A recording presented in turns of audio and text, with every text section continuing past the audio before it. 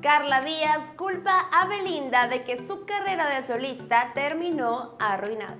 En las noticias del espectáculo tenemos a Carla Díaz, quien saltó a la fama tras su participación en Jeans, un grupo pop que se formó a principios de la década de los 90.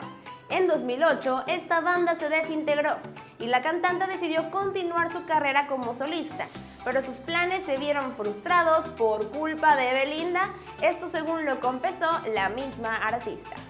Fue en una entrevista para el programa La Cotorrisa donde Carla Díaz confesó que tuvo que tocar muchas puertas después de que el grupo Jeans llegó a su fin. Pero cuando finalmente tuvo una oportunidad con una productora musical, tras producir algunas canciones, de un momento a otro le dieron las gracias y su lanzamiento nunca llegó a concretarse.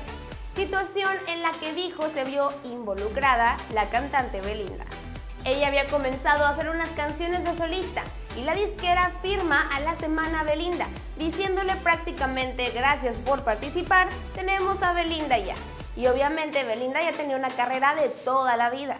¿Ustedes qué opinan? ¿Sabían todo esto? Mi nombre es Araceli Salazar, no olviden que esto es Inciso 1.